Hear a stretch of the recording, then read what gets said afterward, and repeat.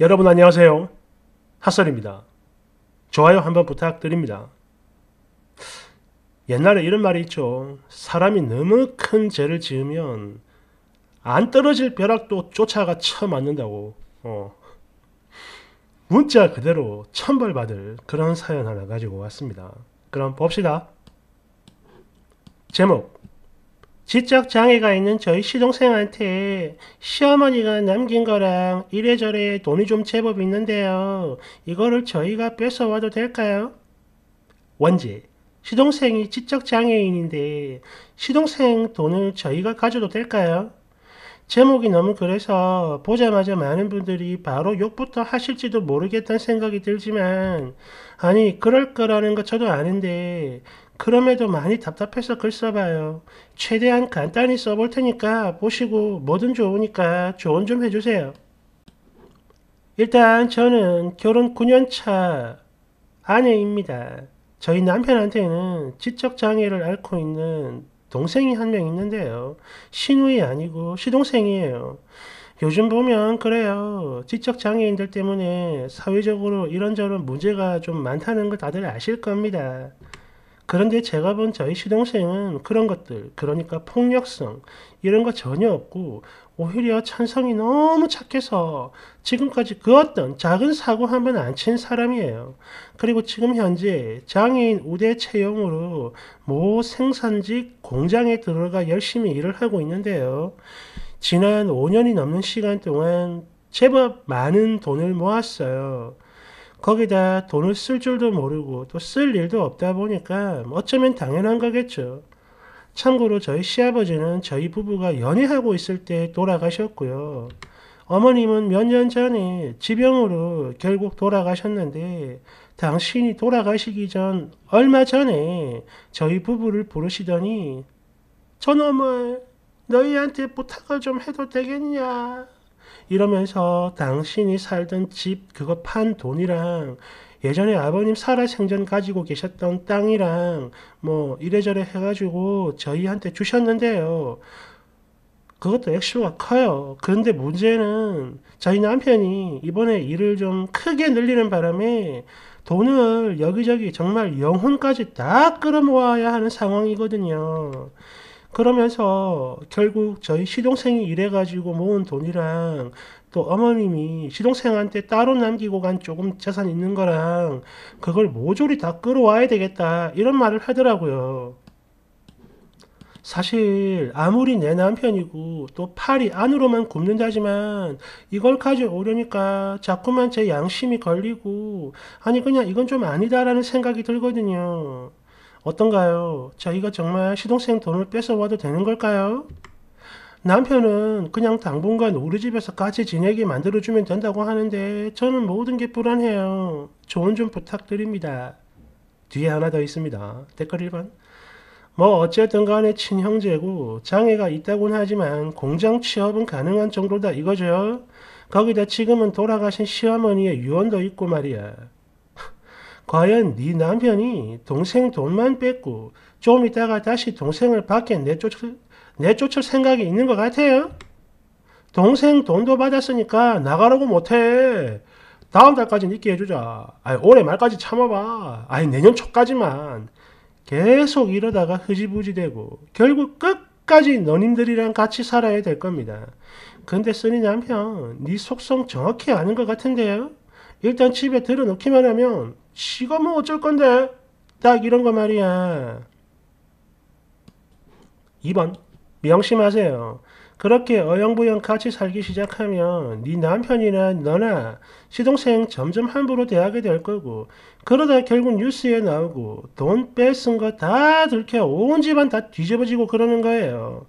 시동생 돈은 없는 돈이라 생각하고 그냥 쳐다보지도 마요. 욕심내면 안 되는 겁니다. 그거 벌 받아요. 물론 처음엔 죄책감이랑 양심의 가책을 느끼겠죠. 근데 시간 조금만 지나봐요. 시동생이 벌어오는 그 돈도 당연히 내 돈이다 이러고 있을 거라고. 그냥 이거는 애초에 욕심을 내지 말아야 평화로운 겁니다. 지적 장애 가족이나 친척들 학대해가지고 뉴스에 나오는 그 사람들 있죠. 그들이 뭐 처음부터 학대하고 돈 착취하고 그랬을 것 같습니까? 그냥 이렇게 어영부영 지내다가 얘 돈은 내 돈이다 이렇게 되는 거고 그러다 결국 뉴스에 나오는 개막장이 되는 거라고요. 3번 그래도 써니는 양심의 가책이라도 느낀다니까 다행이니. 근데 네 남편, 야, 장에 있는 동생을 도와줄 생각은 안 하고 돈 뺏을 생각을 해. 어머니 유언에다가 돈도 따로 받았는데 진짜 벼락을 쫓아가서 참아줄 놈이네. 사람 새끼냐? 4번. 지금 쓰니 뭐 양심의 가책이 어쩌고 저쩌고 이러고 있는데 솔직한 저 생각을 이야기해 볼까요? 아픈 지 동생 돈 빼돌려 사업하겠다는 개 버러지. 그리고 그런 놈이랑 사는 그저 그런 거. 딱 이 생각밖에 안 들어요, 니들. 분명히 말하는데 벼락 맞을 겁니다. 5번. 내가 쓰니 시어머니라면 저승에서 피눈물 흘리고 아니 그게 뭐야 염라대왕한테 빌고 또 빌어가지고 벼락이라도 보냈을 거예요. 정말로. 6번. 나는 지금 이 순간부터 쓰니 남편 사업하는 거 볼이 나든 뭐 어쨌든 간에 무조건 망하라고 생각날 때마다 진심으로 다해 빌 겁니다. 알았어요? 7번. 양심의 가책을 느끼고 우리가 욕을 할 거라는 걸 처음부터 알았다면 그게 얼마나 더럽고 큰 죄라는 건지 알고 있다 이건데 하지 마세요. 그리고 이건 무조건 네가 말려야 되는 겁니다. 뭔 고민을 하고 있어. 아니 그 돈이라도 있어야 그 시동생 나중에 살 거 아닙니까? 만약 그 상대가 이렇게 시동생이 아니라 네 친동생이라도 발 동동 구르고 고민만 하고 있을 겁니까? 돌려줄 생각이라 해도 그래. 만약 그러다 망하면 잘 안 되면 그땐 어찌할 건데요? 평생 옆에 끼고 네 자식처럼 돌봐줄 자신이 있어요? 없잖아요. 그럼 무조건 말려요. 만약 이거 안 말리고 그냥 두잖아요? 그럼 당신도 당신 남편과 다를 거 하나 없는 겁니다. 똑같은 가해자야. 8번. 진심으로 말하는 건데 이거 죄 받아요. 아예 상상도 하지 마세요. 사람이라면. 9번. 아줌마. 양심 있는 척 연기하지 마요. 역겨우니까. 이미 네 남편이랑 똑같은 마음이면서 이렇게 너 혼자 착한 척하면 그 벌 너는 안 받을 것 같아서 이러는 겁니까 지금? 10번. 뭐야 이거? 신한 형수님이세요? 두 번째 사연입니다. 저한테 지적장애 동생이 두 명 있는데 자꾸 선보랍니다. 저는 이제 막 서른인 여자하고 결혼 생각 아예 없어요. 아니 어릴 때부터 쭉 그렇게 생각을 하며 살아왔습니다. 그래서 남들 다 하는 연애도 일부러 안 했어요. 제가 지금까지 살아오면서 총 세 번의 고백을 받아봤거든요. 그리고 그 중에는 제가 먼저 속으로 짝사랑했던 남자도 하나 있습니다. 근데 그냥 거절했어요. 왜? 그게 내 운명이라 생각했으니까. 그런데 바로 오늘 저희 아빠가 뜬금없이 자기 친구 아들이랑 선봐라 이런 말을 하는 거예요. 몇 놈 있다고. 저는 단박에 거절했죠. 그런데 이제는 아빠를 넘어서 엄마까지 당사자인 저는 쏙 빼놓고 아이고 누구랑 보는 게 더 낫겠네. 야는 별론디. 조건이 안 좋아. 이런 말도 안 되는 소리를 하고 있어요. 제가 비혼을 다짐한 거 사실 동생들 때문입니다. 두 명이고 얘들이 각각 지적장애 2급, 3급이에요. 물론 이런 경우라 해도 결혼하고 아이 낳고 행복하게 잘 사는 비장의 형제들 많이 있다는 걸 알고 있습니다. 근데 저는 그게 안 돼요. 안 되고 그래서 결혼 욕심도 버리려고 노력을 한 거고 아니 솔직히 말씀드릴게요. 저요. 아기 낳는 게 두려워요.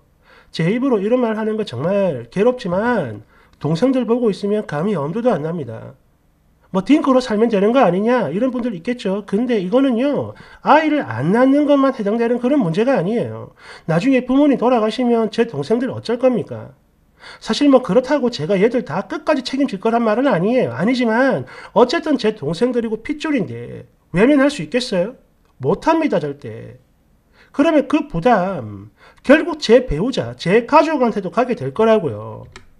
그런 게 미안해서 그런 거고 그리고 이게 다는 아니에요. 물론 이런 것도 많이 있지만 저는 그냥 그런 문제들 막 눈치 보고 치고 이런 것 자체가 너무 싫다는 거예요. 해서 그냥 깔끔하게 포기를 해버린 건데 이런 상황에서 이런 한가한 소리를 하고 있으니 제 속에서 뭔가 알 수 없는 게 꿈틀꿈틀 기어 올라왔고 그래서 질렀습니다. 아빠 우리 집에 장애 동생 두 명 있는 거 다 말했어? 만약 그거 말 안 하고 결혼하면 사기라는 건 알고 있냐고.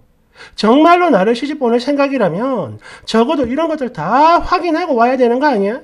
이랬더니 아빠가 저한테 너는 세상을 아직 한참 모른다. 이런 말을 해요. 저요, 아빠가 대체 왜 이런 소리를 하는 건지 모르겠고 그냥 죽고 싶거든요. 아니 정말로 제가 세상을 모르는 겁니까?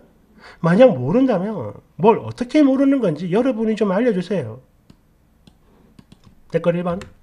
그러니까 아버지 말씀은 장애가 있는 동생이 둘이니까 너도 혼자 아닌 둘이 되어서 감당을 해라. 이런 뜻이 아닐까요?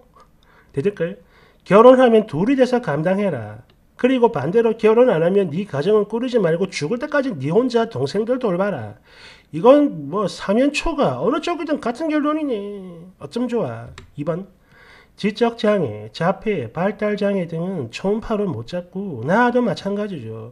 바로 알아보기 어렵고 일단 키워봐야 아는 거예요. 해서 순이의 경우 임신, 출산 그리고 키우면서 아무런 문제가 없다는 걸 알게 될 때까지 그 긴 시간 하루하루 지옥일 거란 생각이 듭니다. 공감해요. 저도 결혼 안 할 것 같아요.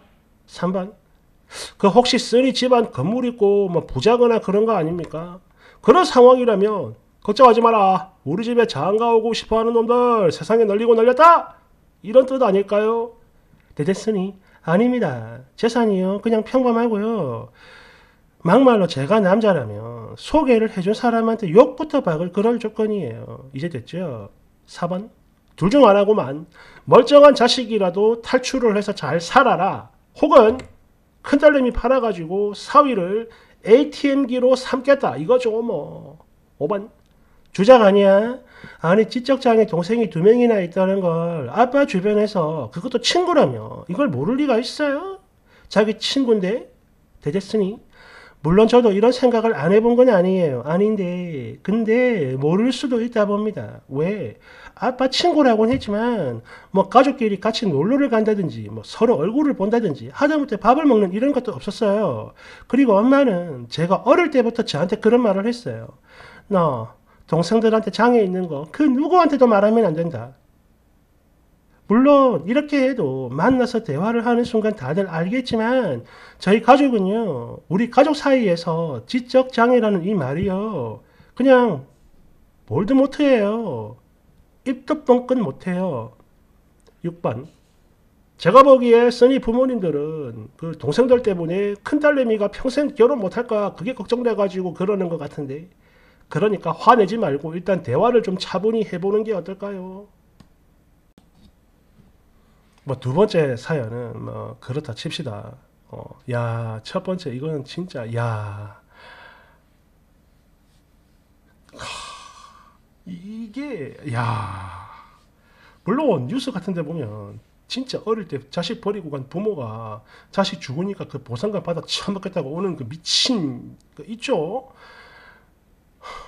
뭐 그래 뭐 사람이니까 뭐 악마보다 더한 것들도 있는 법이니까 뭐 그럴 안 돼. 그래도 안 돼. 와, 이거는, 야. 와, 진짜 막 얼굴이 막, 진짜 막, 막, 뭐 버짐이 피는 느낌이 드네. 야, 진짜 용서 안 된다. 제발 주작이면 좋겠습니다. 감사합니다.